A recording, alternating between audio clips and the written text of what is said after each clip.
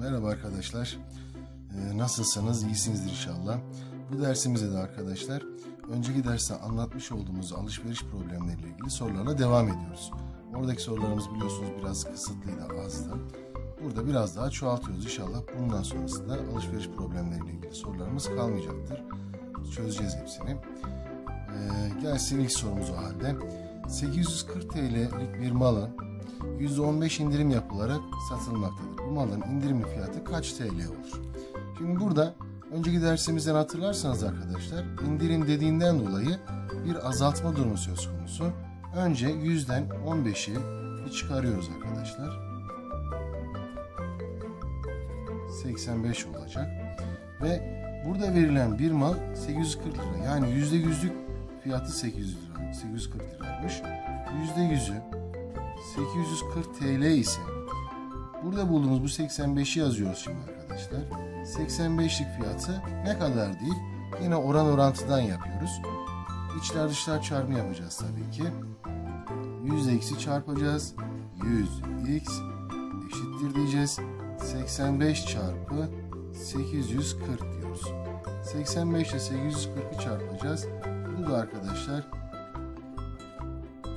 71.400 yapacaktır. 71.400'de neye böleceğiz? X'in yanında bulunan 100 sayısına böleceğiz tabii ki. Bölüyoruz hemen. 100'e bölmek demek zaten iki tane sıfır silmek. Yani cevabımız 714 olacak arkadaşlar. Anlaşılıyordur inşallah. Bir diğer sorumuz gelsin bakalım. Bir mağazadaki takım elbisenin fiyatı 1600 liradır. Bu takım elbise %8 indirim uygulanırsa takım elbisenin yeni fiyatı kaç lira olur? Yine indirim arkadaşlar ve yine ilk yapacağımız işlem 100'den 8'i çıkarmak olacak. 100'den 8'i çıkarıyoruz. 92 oluyor ve burada verilen fiyat %100'lük fiyatı. %100'ü 1600 ise 92'si ne kadar deyip içler dışlar çarpımı yapacağız arkadaşlar. 100 ile x'i çarptık. 100x eşittir deyip 92 çarpı 1600 diyoruz. 92 ile 1600'ü çarparsanız da 147.200 yapıyor arkadaşlar. Ve 147.200'ü de yine x'in yanında bulunan 100'e böleceğiz. Ve 1472 yapacak cevabımız arkadaşlar. Bir diğer sorumuz. Buradaki sorumuzda da arkadaşlar maaşı 4200 lira olan bir kişinin maaşına %5 zam yapılırsa maaşa zam yapılıyorsa gayet güzeldir değil mi? Yani zam maaşa zam olsun da başka bir yere zam olmasın. Gelelim bunun çözümüne. Bu sefer zam. Az öncekilerinde indirim uygulanıyordu. Burada ise bir zam uygulanıyor. O halde bu zammıza artıracağından dolayı ne kadar artıracakmışız? 5 artıracakmışız. Yüzün üstüne 5 ekliyoruz. 105 olacak arkadaşlar. Ve burada verilen tabii ki 4200 lirada yüzlük fiyatı. Yani %100'ü 4200 ise 105'te ne kadar deyip içler dışlar çarpımı yapacağız arkadaşlar. 100 eksi çarptık. 100x 105 çarpı 4200 diyoruz. 105 ile 4200'ü çarpalım. Ve 441 bin yapmış oldu. 441 bini de neye böleceğiz? Her zaman yaptığımız 100'e bölüyoruz arkadaşlar. Bu sefer de maaşı arkadaşımızın nedir? 4410 olmuş oluyor. Güle güle harcasın. Evet. 6000 lira değerindeki bir ürüne %8 KDV. Burada da bakın KDV demiş. KDV de aynı zam gibi düşünülebilir arkadaşlar. KDV de fiyat arttıran bir durum olduğundan dolayı 100'ün üstüne 8 ekliyoruz. 108 oluyor. Ve %100'ü 6000 lira ise 108'de ne kadar deyip oran orantıdan yapabiliriz. Yapıyoruz. 100 ile x'i çarptık. 100x 108 çarpı 6000 dedik.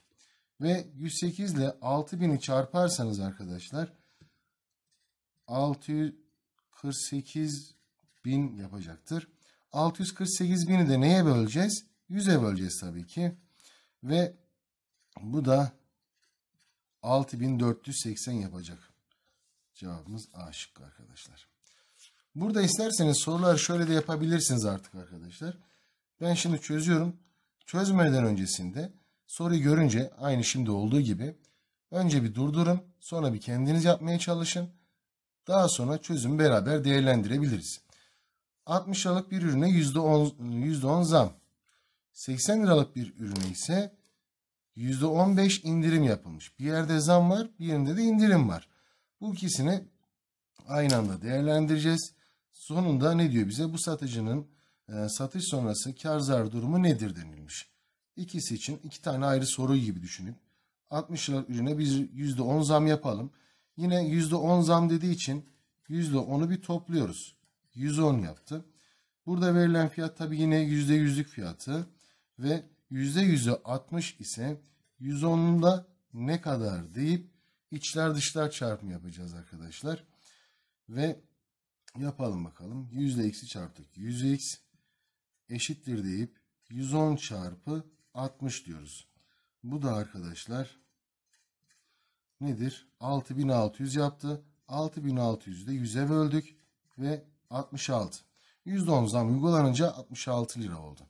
Peki diğer ürün ne durumda? Ona bakalım şimdi. Diğer üründe de indirim vardı. %15 indirim. Bu sefer orada da %15 çıkaracağız. indirim dediğinden dolayı. Çıkarttığımızda da 85 yapacak. Ve yüzlük, yüzde yüzlük fiyatı 80 lira ise 85'lik fiyatı ne kadar deyip içler dışlar çarpımı yapıyoruz. Yüzde eksi çarptık. 100x 85 ile 80'i çarptık. Bu da ne yaptı arkadaşlar? 6800 yaptı. Ve 6800 de neye böleceğiz? 100'e böleceğiz 68. Bu da indirilmiş fiyat. Bize ne soruyor? Bu satış sonrasında kar zarar durumu nedir? Ne yapıyoruz? Önceki fiyatı ne yapıyorduk? 60 liralık bir ürün, 80 liralık bir ürün. Toplam ne yaptı? Ona bir bakalım. 60 liralık bir 80 liralık bir ürün aldığımız vakit 140 lira ödememiz gerekirdi. Peki bu zam ve indirim sonrasında fiyatımız ne oldu? 66 ile 68'i topladı bu sefer. Burada da ne yapacak? 134 yapacak. Bu işin sonunda ise arkadaşlar 140'tan 134'ü çıkarttık. 6 TL zarara uğramış. Önceden satmış olsaydı 140 liraya satacak. Ama şimdi bu zam ve indirim sonrasında 134 liraya satıyor. Daha ucuza satıyor. 6 lira zarara uğramış oluyor arkadaşlar. Cevabımız C şıkkı olacak. Anlaşılıyor değil mi arkadaşlar? Gelelim bir diğer sorumuza. Bu sorumuzda da ne sorulmuş bakalım. Bir alışveriş mağazasında %20 kar ile 180 TL'ye satılan Bakın bu sefer %20 kar eklememizi istemiyor. Burada zaten 180'lik fiyatı %20 karlı fiyatıymış. Satılan bir takım elbise %10 zararla satılırsa kaç TL'ye satılır demiş. Bakalım. Burada yüzde yüzü yani daha doğrusu yüzde yirmi kar dediğinden dolayı yüze 20 ekliyoruz çünkü fiyat arttıran bir durum var. Yüzde yirmi, yüz yirmi yaptı. Bize sorulan yüzde on zarar. Yüzde on zarar dediğinden dolayı çıkarıyoruz 90 diyoruz. Şimdi hemen orantımızı kuralım.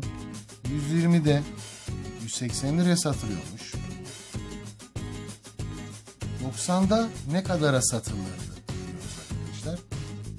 Yine içler dışlar çarpımız 120 ile x'i çarptık. 90 ile da 180'i çarptık arkadaşlar. 90 ile 180'i çarparsanız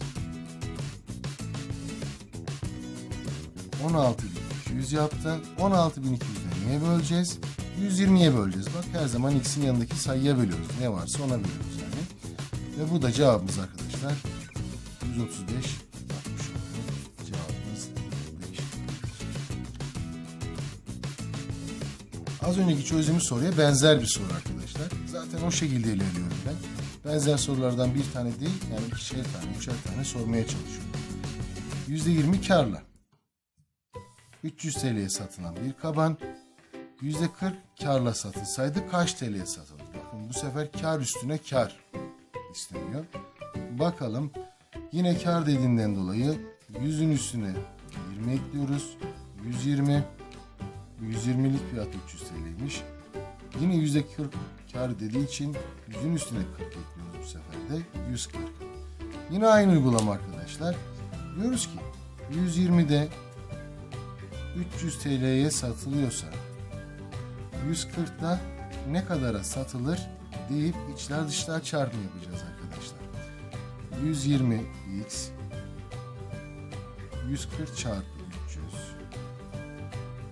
140 ile 300'ü çarparsak 42 bin yapacak. 42 bini de neye bölüyoruz arkadaşlar? 120'ye tabii ki. Bunda cevabımız 350 çıkacak arkadaşlar.